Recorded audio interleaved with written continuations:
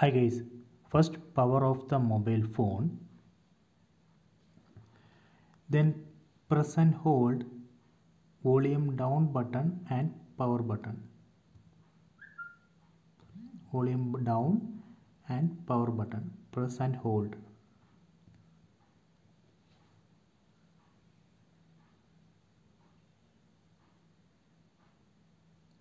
So now here we need to tap on English. Then here you can see wipe data. Tap on that. Here we need to enter this code. 9438 here you can see two options wipe data and format data.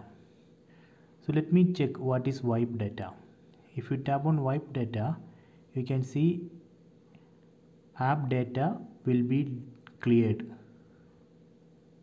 But it will not delete contact messages photos and lock lock screens password. These things it will not delete but only the app data. So let me tap on cancel. So let me check what is format data tap on format data. You can see all user data will be reset.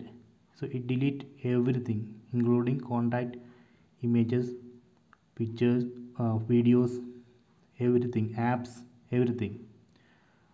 Tap on format. See now it's wiping. Please wait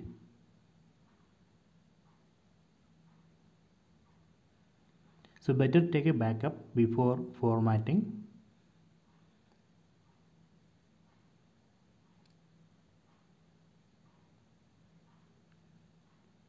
Okay wipe successfully. Tap on ok. Done. So now it's rebooting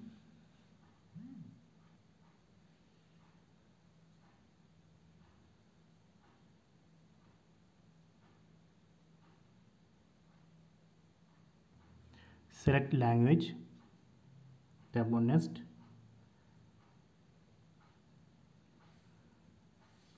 Tap on next.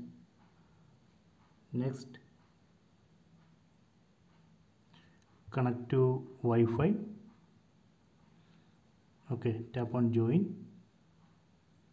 You can see it's connected. Tap on next. Next checking for updates. So here we need to enter gmail id then enter gmail password then tap on add previous account. If you want to add new gmail account you can add it. Now it's getting account info. Then tap on accept